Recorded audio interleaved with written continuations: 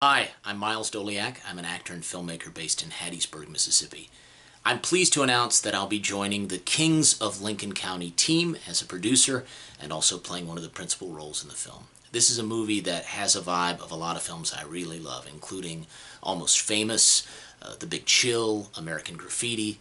It's a film that's going to speak to a lot of folks, especially folks who love music, but that also encapsulates the creative culture of a very specific place, and that is my home state, the state of Mississippi. So I'm pleased to be a part of the project, and I hope you'll follow our progress here. Take care.